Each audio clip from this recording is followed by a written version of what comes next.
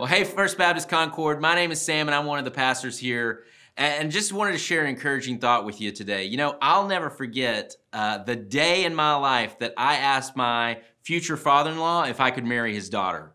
Uh, he lived in Shreveport. I lived in Dallas. We were about three, four hours away. And I was going to drive out to meet him at a Burger King in Longview, Texas. And I think that's probably the last time that I went in a Burger King. But, anyways, I drive out to meet him. And the whole way there, you know, I'm thinking through just, man, what's he going to ask me? What's he going to wonder? What's he going to want to know before he kind of agrees to me asking Hannah if I can marry her?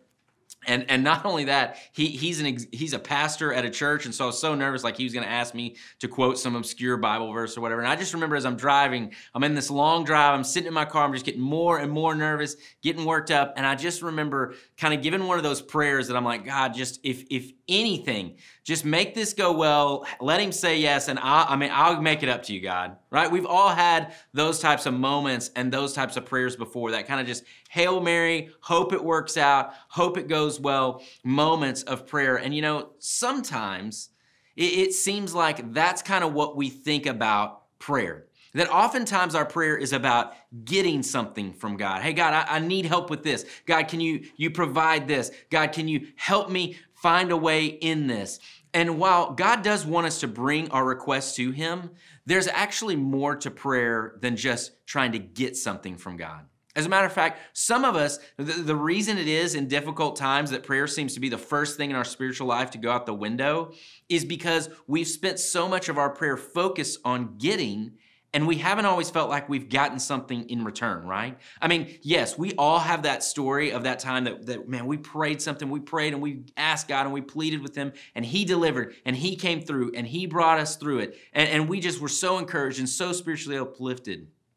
But if, if we're real honest, for every story we have like that, we probably have many more stories where we've asked God, we've pleaded with God, we've prayed to God, and we just feel like it's crickets. Or, or, maybe he didn't deliver, or maybe he didn't say yes, or he did say no, and we wanted him to say, he, it just didn't work the way we wanted and hoped that it would work. And sometimes when we get that, it, it leads to us giving up on prayer. And, and for some of us, if we're honest, the reason it's difficult to prayer is we think, man, sometimes I just feel like I'm talking to the ceiling, or I'm talking to the air. And we feel that way because we've, we've asked for something, and maybe we haven't gotten what we wanted in return. But what if the problem is, and the way, reason that prayer is difficult is because we're thinking about prayer in the wrong way. We're thinking about prayer as about getting rather than connecting. Let me read to you what James, James the half brother of Jesus, said in James chapter 4, verse 8. He said, Come near to God, and he will come near to you. Man, what a great verse. Come near to God, and he will come near to you. You know what he's saying is when we draw and, and try to move closer to God, that he's going to do the exact same thing back to us. He's going to draw near to us. And he's saying, hey, if you would spend time in prayer, focusing on connecting rather than on getting, maybe you would have a different experience in that. And you would be more drawn to the Lord because you would be trying to draw to him and he would draw near to you. Maybe here's the best way I can say it. We all, uh, just imagine this Imagine your prayers like a phone call. And you pick up the phone and you call God and you say, Hey, God, listen, I got this going on. I got this meeting. I got this thing with work. I got this thing with my family, this thing with my kids. God, help me out. Hope it goes well. See you later. Bye. And, and that's the end of the phone call. Well, that's not the way we communicate with other people. The way we communicate with our friends, with our family is it's a back and a forth. It's a talk. It's a listen. Man, Sometimes we pray to God and we say, God, I need your help with this. God, give me direction on this. Give me guidance on this. All right, see you later. And we hang up and that's the end of it. When was the last time in our prayer that we opened up space for God to actually speak to us? For God to actually answer the thing that we're asking Him to do? When we've said, hey, God, I need guidance and direction on this, and actually listened for that guidance and direction. Eh, prayer is about communication, it's about connecting with God connecting with your Father, with my Father, the creator of the universe. It's about not just getting, it's about connecting. And without communication, we can't have a relationship. I mean, every relationship is built on communication.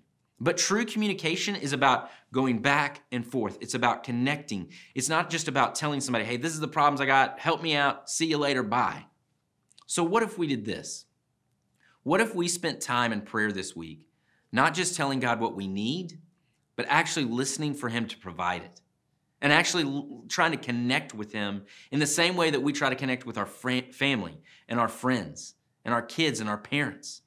And we would connect with God through communication. Not just, hey, God, help me, but God, let me connect with you. So let's pray. Father God, I thank you so much that you love us so much, that you sent your Son here on this earth to live a sinless life, to die, and to come back to life, so that we could have a relationship with you. And God, sometimes we don't let that sink in that you want a relationship with us. Relationships are built on communication. We communicate with the people that we love, the people that we care about. And God, I pray in the same way we communicate with you. That when we talk to you, when we pray to you, it wouldn't just be about getting.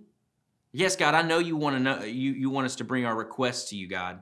You've told us that, but you also want to connect with us. You want us to draw near to you, and you will in turn draw near to us. And God, I pray that's exactly what we do. I ask this in your name. Amen. Well, hey, hope you guys have a great week.